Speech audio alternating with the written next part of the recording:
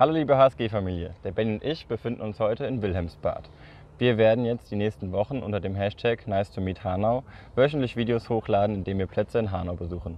Heute begleitet uns der Hans-Peter und zeigt uns, was es hier so im Park alles gibt. Du hast es schon gesagt, Hans-Peter Kehl mein Name. Ich äh, bin Stadtführer hier in Hanau und ehrenamtlicher Mitarbeiter bei der HSG. Und ähm, ich erzähle ein bisschen was außenrum und jetzt gehen wir mal zusammen in den Park und entdecken den gemeinsam ein wenig.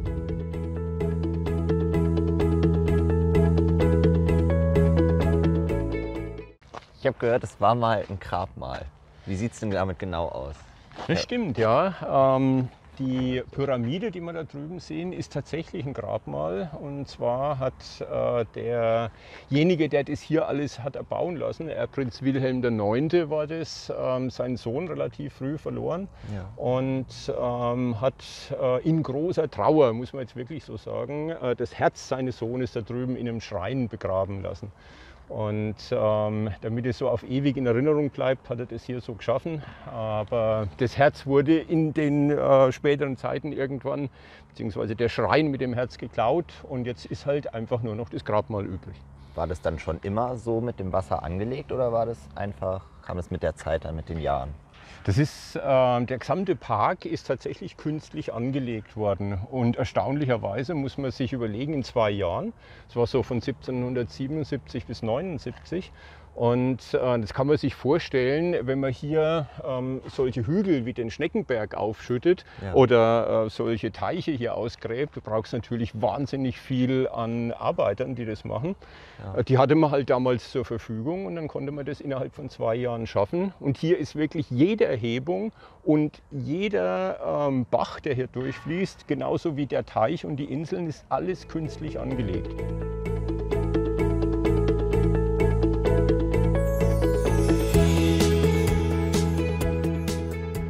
Lieber Hans-Peter, was haben wir denn hier für einen Turm? Weil für einen Park ist es ja eigentlich nicht normal, dass wir hier so eine kleine Art Burg drinstehen haben. Stimmt, sieht aus, als wäre hier die Verteidigungsstellung äh, für einen Kurpark, äh, ist aber tatsächlich nicht so. Das ist eine künstliche Ruine. Das war im Zeitgeschmack damals, hatte man das, dass man sich äh, extra eine äh, Ruine gebaut hat, die von außen zwar wenig verfallen ausgesehen hat, aber von innen wirklich jeden Luxus geboten hat. Die hatte einen Eiskeller, die hatte eine wunderbare Küche, äh, mit der da drin die Leute verköstigt wurden.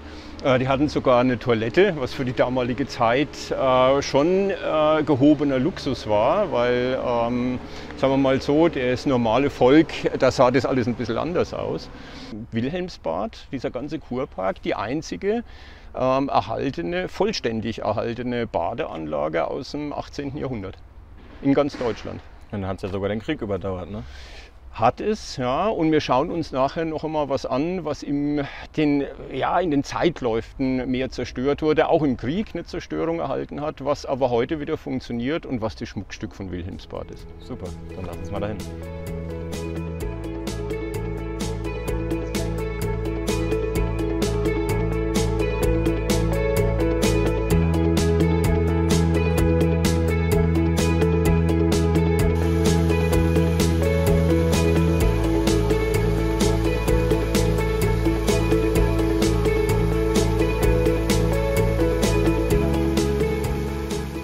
Jetzt stehen wir noch mal von der anderen Seite hier davor.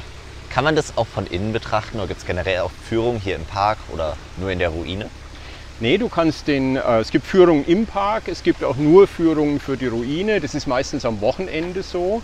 Äh, es gibt eine eigene ähm, Homepage für den Staatspark Wilhelmsbad, äh, da kann man drauf schauen, wann diese Führungen sind und äh, sind für die Ruine zumindest kostenlos.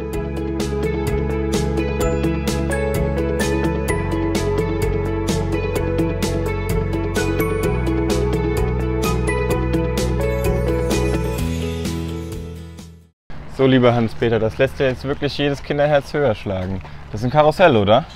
Das ist tatsächlich ein Karussell und zwar ein sehr einzigartiges. Es ist das älteste freistehende Karussell auf der ganzen Welt. Auf der ganzen Welt. Es gibt es tatsächlich so nur noch einmal. Es ist fast 250 Jahre alt und war halt tatsächlich ähm, so um die 1930er Jahre, da ist es noch das letzte Mal gelaufen, aber ziemlich verfallen, verzogen, kaputt. Ja. Dann hat es im Krieg auch noch äh, einen Bombentreffer tatsächlich erhalten und ist dann so ähm, in den Jahren nach dem Krieg ein bisschen vor sich hingemodert. Aber in den letzten 25 Jahren hat man das wieder ähm, renoviert, saniert, völlig neu aufgebaut und ähm, seit 2016, nach 20 Jahren und äh, einigem an finanziellem Aufwand, seitdem läuft das, läuft das Karussell wieder und ähm, zu mehreren Gelegenheiten im ähm, Jahr gibt es Karussellfeste, es gibt ähm, beispielsweise das Federweisenfest oder wenn hier der St. Martins Umzug ist, dann äh, läuft das Karussell auch und für nur 4 Euro. Hm kannst du dir hier ein paar Runden gönnen. Und es macht sowohl denen, die drin in diesen schönen Kutschen sitzen, Spaß, als auch denen, die draußen dann winken. Ja, und du sitzt in deiner Kutsche und winkst huldvoll zurück.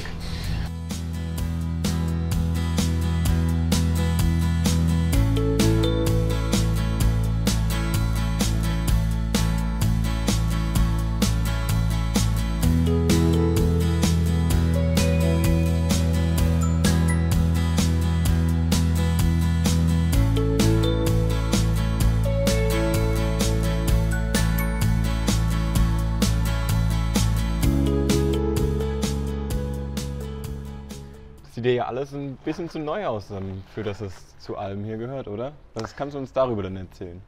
Ja, das hier ist der Fürstenbau, ähm, der, ein Teil der ganzen Kurgebäude.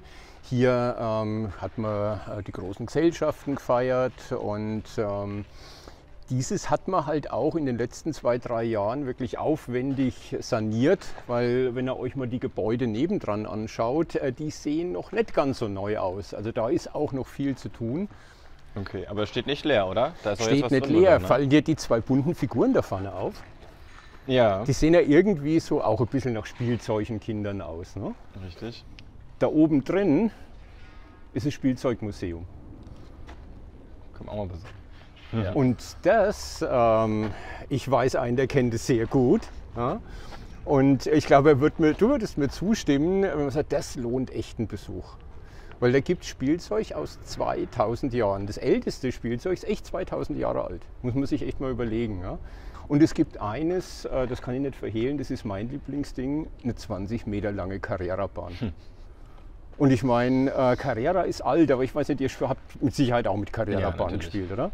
Und das Ding, äh, das wird digital gesteuert. Das kannst du für Feiern, für Geburtstagsfeiern, Feten, für alles Mögliche mieten und da Rennen veranstalten. Und ich kann es aus eigener Erfahrung sagen, das ist super klasse. Sonst wären wir jetzt langsam beim Schluss, oder? Ja, wir sind eigentlich eine schöne Runde durch den Park hier marschiert. Ähm, das wäre jetzt an sich der Endpunkt. Aber der Park hat ja noch einen zweiten Teil. Hier, das ist der schön gepflegte Teil, äh, der hergerichtete, konzipierte, komponierte Park. Hinter uns, hinter den Gebäuden, beginnt der Urwald. Oh ja. Da ist der Landschaftsteil des Parkes und wir begeben uns jetzt für euch, die ihr uns zuschaut, in eine riesengroße Gefahr. Weil da hinten ist der mückenreichste Ort des ganzen Parks.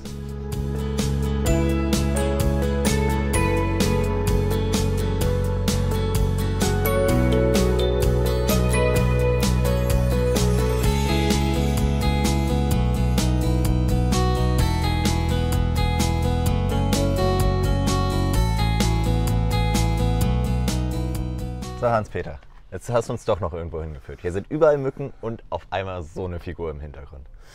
Wo hast du uns hingebracht? Ja, für die Mücken kann ich nichts. Schnell bringt das Mückmittel her. Ähm, die, wir werden schauen, dass wir die so schnell wie möglich loswerden. Wir sind hier beim Einsiedler in Wilhelmsbad. Diese dunkle Figur da drin, ähm, die sollte damals den Damen das Gruseln beibringen, damit die Herren sie schön beschützen konnten und so die ersten Distanzen überwinden konnten. Ansonsten ist es einfach ähm, ja, eine Schaufensterpuppe, die ähm, ein wenig äh, ja, den Grusel auslösen soll. bei denen, die sich hier in dieses dunkle Eck wagen. Äh, es haben übrigens nach dem Krieg, nee, nicht nach dem Krieg, muss ich sagen, zu Ende des Krieges, auch ähm, Amerikaner mal gemacht, weil es gab hier wohl in der Umgebung noch ein paar Widerstandsnester. Und äh, so äh, Ende oder Anfang Mai 45, ähm, als äh, die GIs dann hier waren, ähm, hat man hier äh, dieses Loch entdeckt und es geht so die Mehr, ja, dass tatsächlich ein amerikanischer Soldat hier im, mit seinem Gewehr im Anschlag stand, den Herrn da aufgefordert hat, die Hände zu heben. Nachdem er nichts gemacht hat, hat er ihn halt erschossen. Und äh, das führte dann dazu, dass man später nach dem Krieg eine neue Figur brauchte. Und die hier, die da drin steht, äh, wurde übrigens vom Hessischen Rundfunk gestiftet, ähm, dass man hier wieder den Einsiedler hat und sich etwas gruseln kann. Und da die Angst jetzt langsam überhand nimmt, schauen wir, dass wir von hier wegkommen. Ja, auf jeden Fall. Hauptsache weg von dem Kerl und von den Mücken. So, liebe HSG-Familie, jetzt sind wir wirklich am Ende. Wir haben keine Gefahren gescheut, um euch dieses Video zu ermöglichen. Vielen Dank, lieber Hans-Peter. Es hat uns eine Menge Spaß gemacht. Wir haben eine Menge gelernt. Äh, besonders ich, der ja nicht von hier kommt. Ähm, ich glaube, der Benny auch noch ein bisschen. Vielen Dank. Ja, dem kann ich mich nur anschließen. Ich habe auch noch was gelernt, obwohl ich seit 20 Jahren hier in der Gegend unterwegs bin. Und vielen Dank, Hans-Peter. Wir sehen uns bestimmt noch, äh, noch ein paar Mal wieder. Nächste Woche dann an der Wallonisch-Niederländischen Kirche. Und dann mit zwei anderen von uns. Aber bis dahin, bleibt gesund. Wir sehen uns nächste Woche. Tschüss. Bis dahin.